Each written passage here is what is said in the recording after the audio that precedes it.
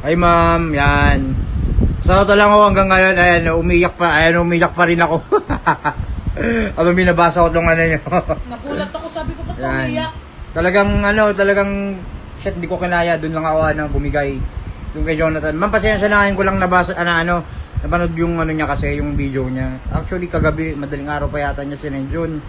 Siyempre, sa dami po kasi ng ano, ng, ah, nag-message din. Siyempre, inuna ko po muna yung sampu kasi hindi ko naman kung kaya, kakayaning mag-isa na buksan lahat. So, naalala ko nga po pala yun yung ano nyo, kaya yun. Hindi na ako napaiyak dahil doon Oo. sa iniyakan mo. Napaiyak ako dahil sa'yo.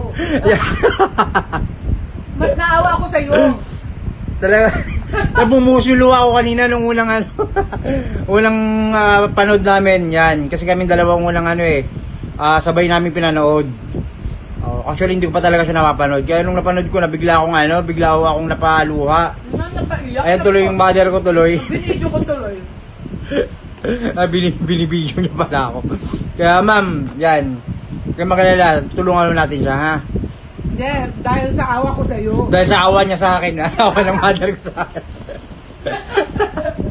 Hindi, dahil naawa po ako kay ano, kay Ku- Kuya Jonathan, sa asawa niya, napaiyak ako, kaya yung naawa tuloy yung mother ko sa akin. Umiyak ka.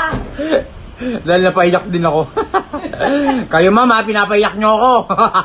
Ay, kung hindi ka umiyak talaga. Kung hindi ako umiyak, wala. Hindi Talaga.